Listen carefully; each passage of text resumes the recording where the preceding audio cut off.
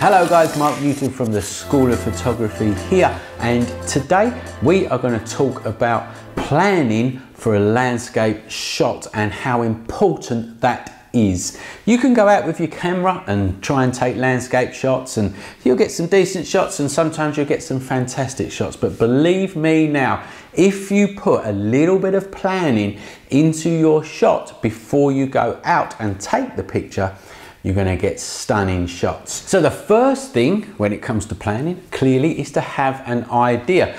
Now I think that it is around about equal when it comes to creativity, your knowledge of photography and the planning of what you are going to do.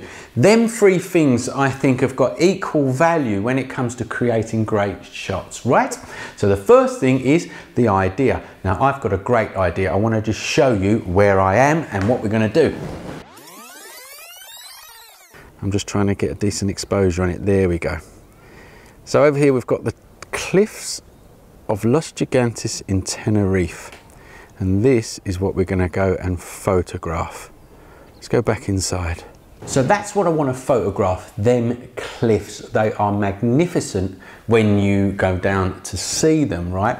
Now, there is a certain point of the day when they really look fantastic and it's not the golden hour, it's about an hour before the golden hour, if you like, and that's where the light hits it and really gives it some contrast and shows off all of the sort of jagged parts of the cliff as you would expect. Now, I've already been down there. I've already checked out the scene. I've already figured out the composition I want and I kind of want to go for a portrait look ultra wide angle lens looking right up on the cliffs, the sea coming up to the foreground of the shot, and there is rocks also in the foreground. So the idea is I'm going to get these rocks in the foreground and the cliffs in the background just towering into the shot. I've also thought that maybe it could be in black and white because obviously the texture of the cliffs probably would suit black and white. Won't know until we get into editing, but that's another idea that I've got. So I've got the composition in mind. I've got the time of day in mind. I've got where I want to be in mind. So I've already planned all of these things out and I've been down there, checked out the scene. Yeah, there's people down there, but I think there's a place where I can go where hopefully not that many people will be there. So I've already done that planning before I get to the place. So the next bit of planning that you need is what equipment that you need to get that shot.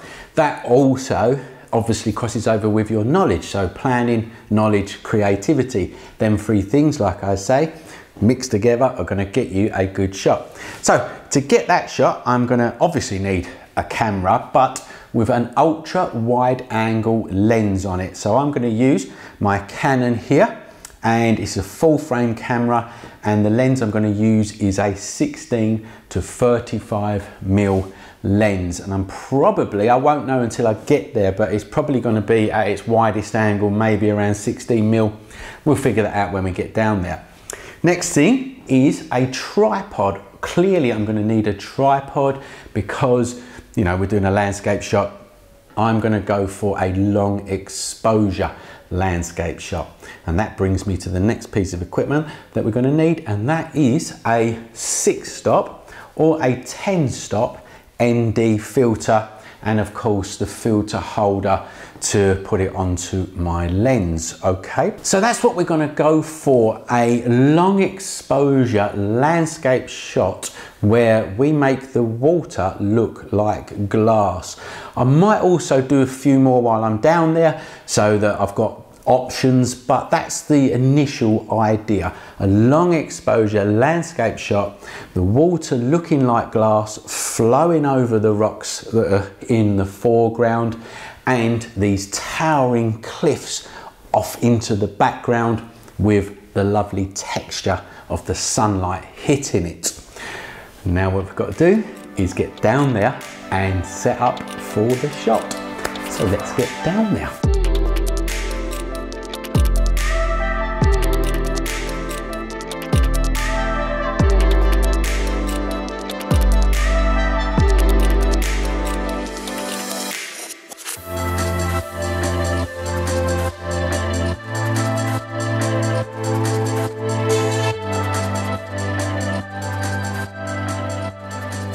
So I am in position.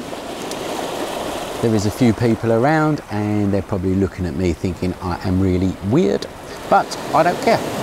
I am now just waiting for the light because it's not quite right yet. It's still a bit bright and I think we've got about half an hour to an hour maybe before that light gets correct or to how I want it to be. But I know exactly uh, where I want to be. I'm going to get set up. I'm going to do an exposure reading and get ready for my shot.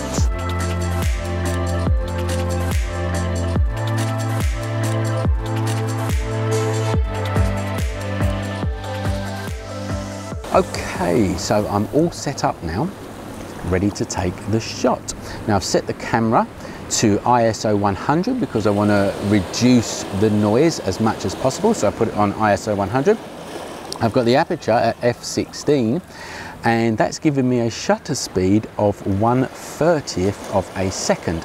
Now I want to use a 10 stop ND filter in that and that gives you, once you put a 10 stop ND filter on your camera, gives you a shutter speed of around about a minute. That is what I want really. I want a shutter speed of about a minute to take this shot. Now, if you want to know a bit more about ND filters and shutter speed times and which ones to buy and all that kind of stuff, uh, you've got a free guide and it's in the description of this video. You can click on that, download it it's totally free. It tells you all about nd filters uh, your timings your exposure how to change the exposure times and all of that kind of stuff. Right let me show you the setup that i've got over here. So there is my camera here and let's just put it on for you so you can see the screen. So here i am i'm on manual f16 it's 1 30th of a second there all right you've got to read it on the side but you get the point. Um, so that's all the settings there. Around the front is my filter holder. I just want to make sure I can focus in for you there. And I'm going to slot a 10 stop ND filter in there in a minute. And then let's have a look at the scene from behind the camera.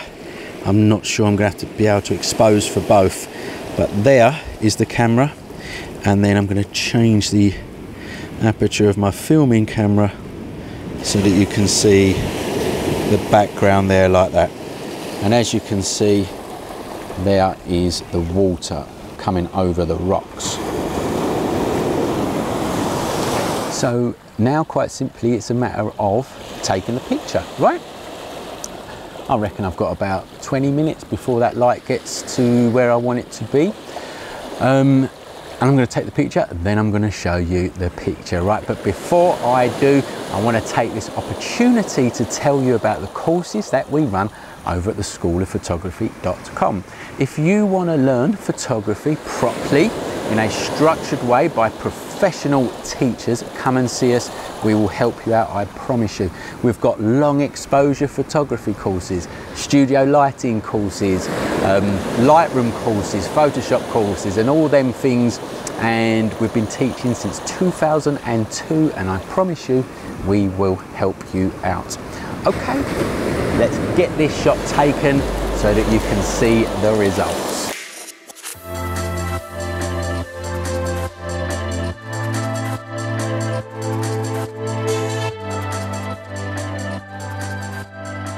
Okay guys, that's it. I've took the shot. I'm not sure if I'm gonna do it black and white or color yet. I'll figure that out when I'll go back into editing, but you will see it in a minute anyway, right? I really hope that you have enjoyed this tutorial. If you have, like the video, share it with your friends, subscribe to our channel for more.